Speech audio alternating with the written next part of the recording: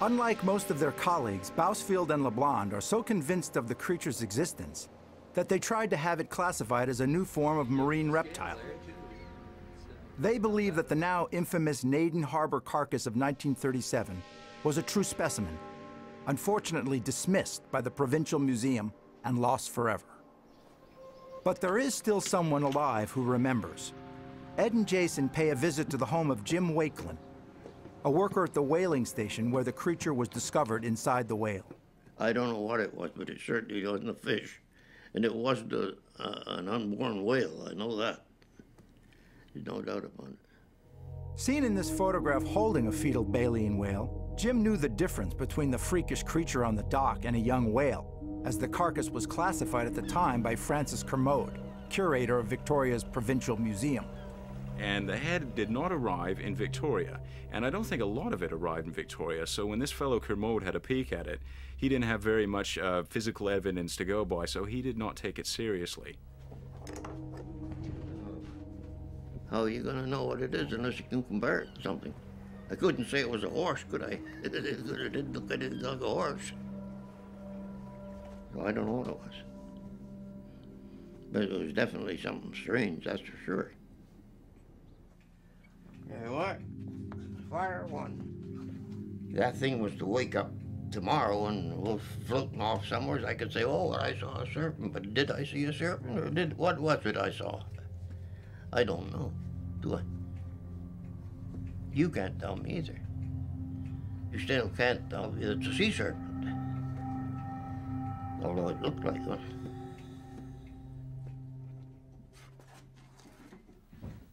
So we'd like to think that somewhere out there, someone has got a sea serpent skull growing dust on their bottom basement closet, and uh, one day we may find this. At the home of an eyewitness, Jason sets up the first of a series of cameras, linked via computer, to capture the creature on video. This is the second year of the CADIScan project, and they're hoping for some promising results. Bob Iverson, an experienced commercial fisherman who knows his sea life, believes he saw the Cadborosaurus from this patio. I saw this thing, right? And it was like tires coming up, one here, one there, one here, and I got up, looked, tried to see it, it was gone, and then I saw it again uh, halfway between here and the Green Buoy, which is it's a good distance out, good 15 minute row to get to that far. So it was moving fast. And actually turned around and came back. Ed and Jason check over the CADIScan gear. The system only starts up when it detects motion on the surface of the water. Last year, it turned up some intriguing video evidence of a creature swimming across the bay, moving steadily forward, occasionally lifting its head out of the water. It didn't seem to move like a seal or a whale. Something did pop up, but it simply was too far away and it was too obscure. We do have these cameras set up where there are multiple sightings every year, so uh, it's got to pay off. We hope it pays off.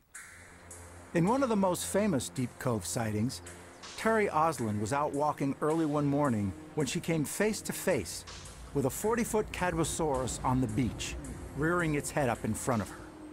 And as I came up to where the steps go down, this, this head popped up, and I looked straight into the face of this creature, which was, oh, I guess almost a foot wide in the face.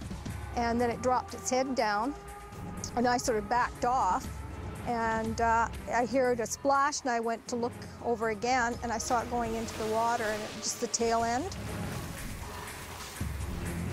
I definitely knew I'd seen something because not only did I see it, but I could smell it. And it left a funny taste in my mouth, which was sort of metallic-like. So I feel that definitely did see it because there's three senses, taste and the sight and the smell. And the next morning I phoned the Provincial Museum to ask them about it and they said they, that I, they thought I'd seen an elephant seal, but that was definitely not an ele elephant seal.